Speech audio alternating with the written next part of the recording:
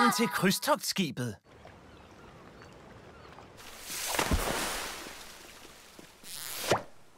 Jamen, goddag.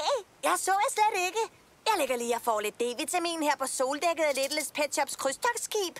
Nu skal I bare se, hvor søstærk sådan en lækker lille landskildpadde her kan være. Første stop er surfbanen. Uh, Glix, så lige slow motion til, så du kan filme min livredderløbestil. løbestil.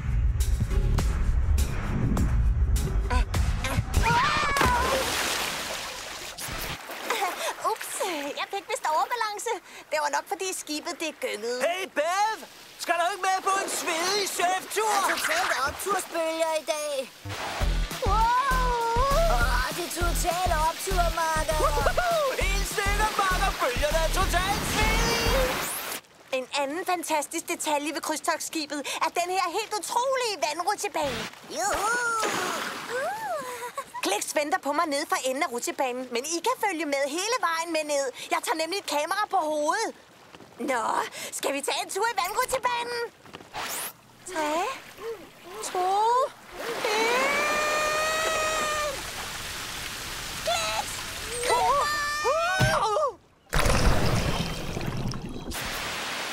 Wow, Ben! Er du okay? Jeg øh, har det fantastisk. Har du? For du er ligesom mere grøn, end du plejer at være, Bev. Sådan ser skildpadder ud, når vi får sol. Jeg har det fint. Jeg tror lige, at jeg lægger mig ned i fem minutter. Et diskotek på dækket. Fantastisk. Det er lige mig. En aktivitet, der ikke foregår i vandet. Det her krydstogtskib forstår bedste 24 timer i døgnet.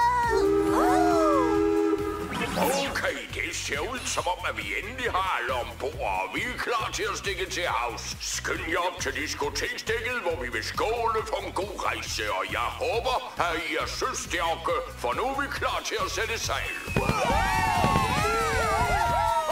Har vi ikke engang lagt på kaj endnu? Hvad siger du, Kleks? Skal vi vise folkene derhjemme resten af skibet? Måske man kan købe søstyrke nede i kiosken. Eller måske nogle søsygtabletter nede på apoteket. Undskyld, ved du, hvor apoteket er? Oh, hallo? Oh.